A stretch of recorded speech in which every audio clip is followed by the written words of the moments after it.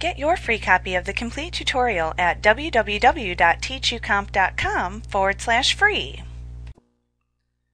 When you're creating your publications, you will often need to add pages to hold more content, especially if you're creating a new blank publication from scratch. Before you insert a page, you will most likely want to select the page in the navigation pane that is the page immediately before the position at which you want to insert a new page.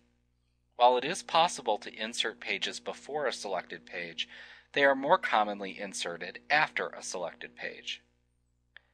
Next, you should click the Insert tab in the ribbon, and then to insert a new blank page immediately following the page that is currently selected in your publication, you can simply click the Page button within the Pages group on the Insert tab within the ribbon. Give that a click.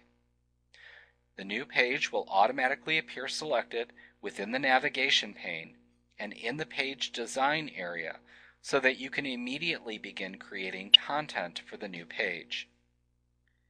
In addition to inserting a new blank page into your publication, you could also choose to insert a duplicate of a selected page.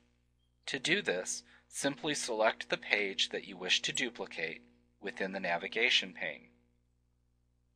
Then click the drop-down arrow below the Page button within the Pages group on the Insert tab within the ribbon. This little drop-down right here. Give that a click. And from that drop-down menu of choices shown, simply select the Insert Duplicate Page command. Now, that will automatically insert a duplicate page into your publication. Note that this page will also appear immediately following the initially selected page and will also be immediately selected within the navigation pane and thus appear on screen for editing as well. Note that if you wish to move the duplicate page to a new location within your publication, you can simply click and drag the page shown within the navigation pane to the desired page location and then release it when it's in the correct position. As you click and drag, you'll see a dark thin line appear between the existing pages so that you'll be able to tell where the page will insert itself when you release the mouse button. So we'll scroll down here, click on this page, and drag it down until we see that small thin line appear, release it, and we'll move the page. Note that when you click the drop down arrow button up here under Page again, that we see three command choices.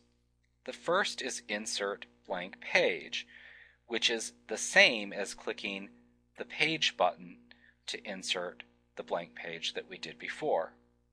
The second is Insert Duplicate Page, and we'll insert a duplicate of the selected page as we just learned. The third choice is Insert Page. You can select the Insert Page command in order to open the Insert Page dialog box. This dialog box allows you to insert multiple pages either before or after the currently selected page and also allows you to choose what content will be placed onto those pages. At the top of the Insert Page dialog box, enter the number of new pages that you wish to insert into the number of new pages text box right here. So we could select 2 for example. Next, select whether the new pages are to be inserted before or after the currently selected page by choosing the desired option button.